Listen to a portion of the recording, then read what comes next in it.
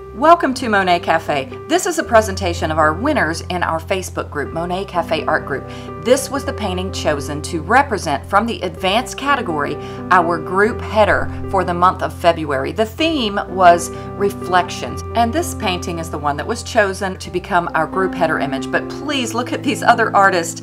Oh, Alan always puts so many beautiful paintings in our group, but I want you to look at the rest of the work that I wanted to do kind of an honorable mention from the advanced category because they're just so beautiful. Elena, she's won our group contest uh, a time uh, before, and her work's beautiful. So, way to go, artist, in the advanced category. Your representation of reflections was just beautiful. This is the first month in our group where we have three categories. This advanced category you're seeing with these honorable mentions here. We have an intermediate category and a beginner category. I'll explain a little bit more about that.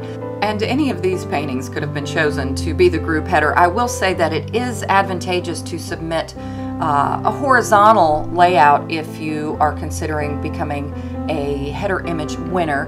Not always, but it does lend itself to uh, fit our header, our group header, better um, than the vertical formats. So, way to go, advanced painting entries, so gorgeous. Now, here are the intermediate category honorable mentions and winner. This is the winning painting here by Suzanne Cabrera Torre. Look at that reflection, amazing. And enjoy the rest of these in the intermediate category. I just thought they were worth showing and mentioning and I just, I can't help it. I just want to showcase you guys because every single one of you is a winner. You're submitting your work, you're working hard, it's beautiful. This is the beginner category, someone who's been painting a year less than a year in any medium. Ronetta, this is a beautiful painting, but just enjoy the rest of these beginner category. This means they've been painting not just in pastels for less than a year, but any medium. They've just taken up painting. Um, that's what is supposed to be the beginner category.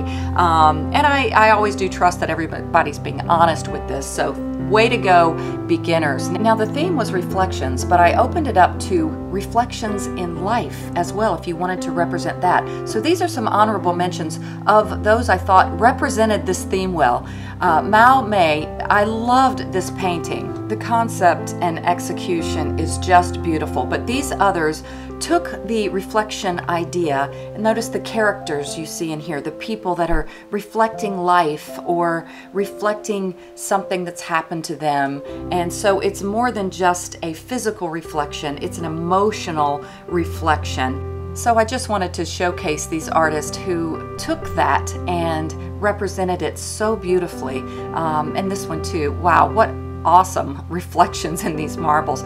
So thank you artist, every single one of you who entered this challenge in Monet Cafe Art Group on Facebook. Your beautiful work, spirits and hearts bless me every day.